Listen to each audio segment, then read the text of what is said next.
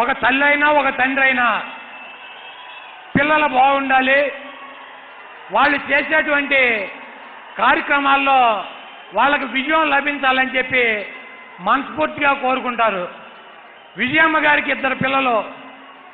ఈరోజు ఇక్కడ జగన్మోహన్ రెడ్డి గారు అక్కడ షర్మిలమ్మ ఇద్దరు రెండు దారులు నడుస్తున్నారు రెండు రాష్ట్రాలని ప్రాతినిధ్యం వహిస్తూ.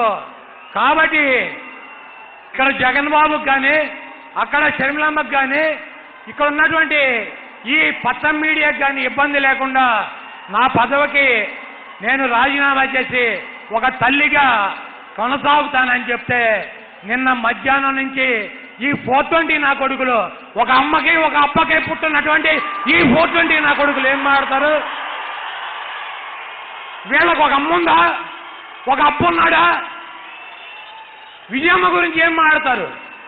ఈ రాష్ట్రానికి వైఎస్ఆర్ కాంగ్రెస్ పార్టీకి వైఎస్ఆర్ కాంగ్రెస్ పార్టీ కుటుంబ సభ్యులకి తండ్రి రాజశేఖర రెడ్డి గారు అయితే తల్లి విజయమ్మ.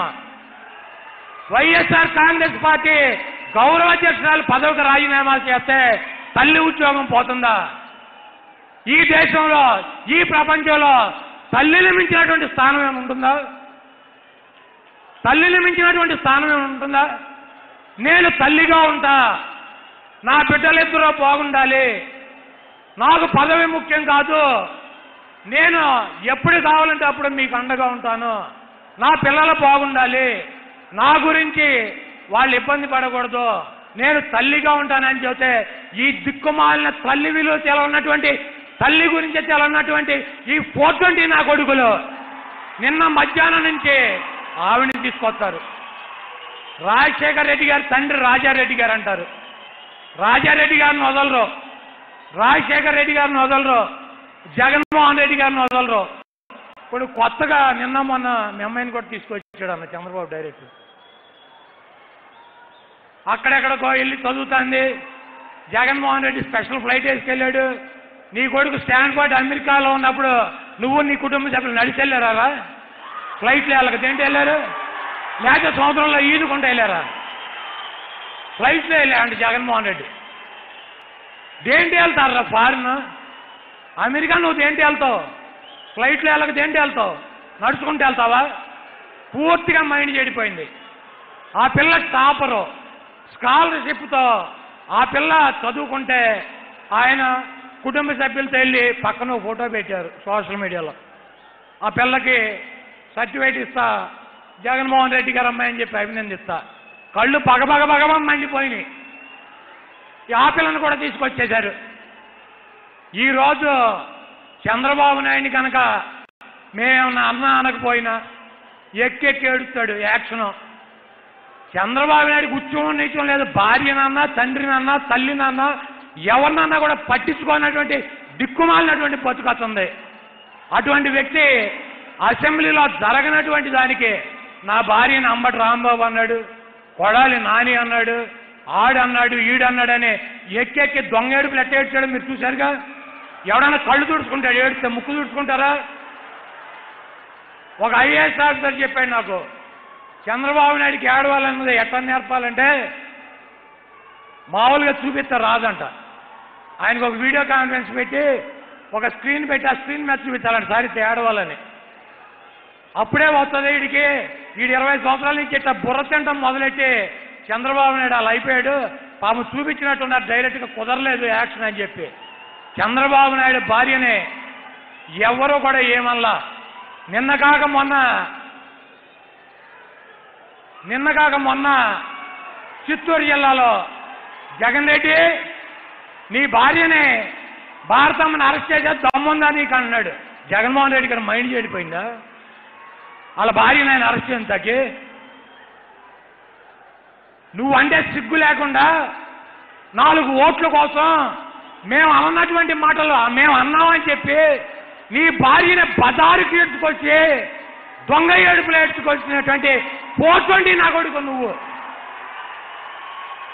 జగన్మోహన్ రెడ్డి గారికి ఏంటి? సింహంలాగా సింగల్గా వస్తాడు. నువ్వు ఒకడెవరా నలుగురురా పది మంది రండి. మీకు రెండు వేల ఇరవై నాలుగులో మిమ్మల్ని రాజకీయ సమాధి చేసి మిమ్మల్ని మీ రాజకీయ జీవితాలని పాతాళంలో పాతిపెట్టి మిమ్మల్ని శ్రీ నారా చంద్రబాబు నాయుడు మానసిక వైకల్య కేంద్రంలో మీ నలుగురు ఫోర్ ట్వంటీ గాల్ని జాయిన్ చేసి మీకు శాశ్వతంగా అక్కడే ట్రీట్మెంట్ చేసేటువంటి బాధ్యత కూడా ఈ ప్లానరీ సందర్భంగా వైఎస్ఆర్ కాంగ్రెస్ పార్టీగా మేము తీసుకుంటాం.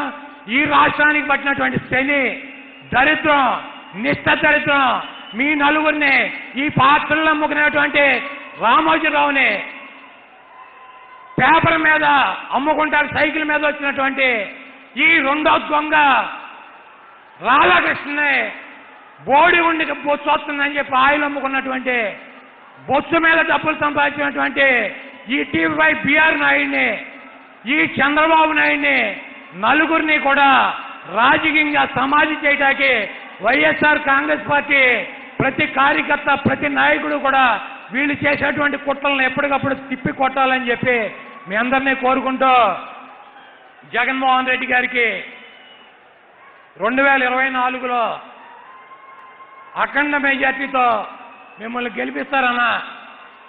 ఎందుకంటే ఈ రాష్ట్రంలో ఆంధ్రప్రదేశ్ చరిత్రలో ఇన్ని సంక్షేమ కార్యక్రమాలు పేదల కోసం పనిచేసినటువంటి ముఖ్యమంత్రి జగన్మోహన్ రెడ్డి గారు.